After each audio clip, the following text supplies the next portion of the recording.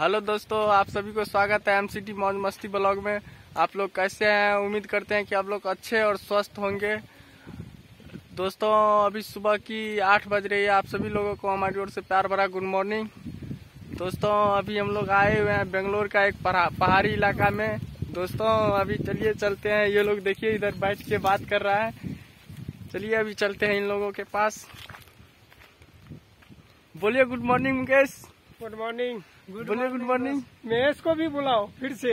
महेश माँ बोलिए good morning good morning good morning बोलिए। मॉर्निंग गुड मॉर्निंग दोस्तों अभी हम लोग आए हुए हैं इधर देखिए।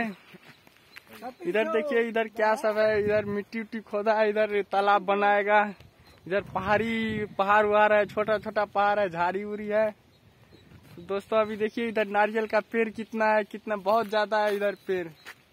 ये अजीब सा हाँ, ये अजीब सा एक पेड़ है ये हम लोग कभी देखे नहीं थे। और ये भी है देखिए बहुत ये भी इधर दूसरा पेड़ है कोई? इधर भी इतना इतना मतलब ये पेड़ है कि हम लोग कभी देखे नहीं थे ज़िंदगी में।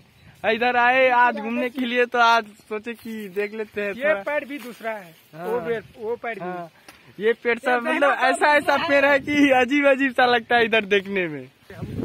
तो ठीक है दोस्तों, फिर नेक्स्ट वीडियो में आप लोगों से मिलते हैं। ठीक है बाय बाय खुश रहे, खुशियाँ बांटे। बाय बाय दोस्तों।